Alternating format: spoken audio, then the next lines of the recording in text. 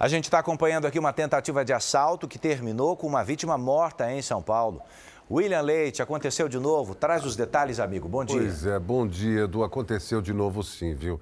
E o mais triste é que a vítima estava trabalhando quando o assaltante entrou na loja de roupas. E mesmo sem o comerciante reagir e entregar o dinheiro, o criminoso atirou. Do lado de fora da loja, um manequim encostado debaixo de chuva indicava que algo estava errado. A movimentação da polícia no local confirmava o crime. Pouco antes, a loja de roupas na zona norte de São Paulo foi alvo de um assaltante. Segundo a polícia, o homem anunciou o roubo e, com uma arma na mão, ameaçou o dono exigindo dinheiro. A vítima informou onde estava, mas o ladrão disparou três vezes no comerciante. Depois pegou o dinheiro, um celular e produtos da loja e fugiu. O homem chegou a ser socorrido, mas morreu no hospital. Policiais fizeram buscas pelo ar e pelo chão, mas o assaltante não foi encontrado.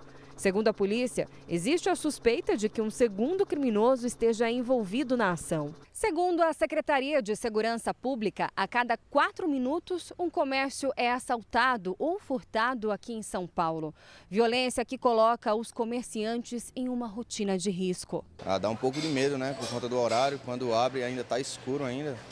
E o tanto que vem acontecendo a criminalidade aí aumentando cada vez mais dá pouco de medo, sim. A vítima do assalto na loja de roupas será enterrada hoje.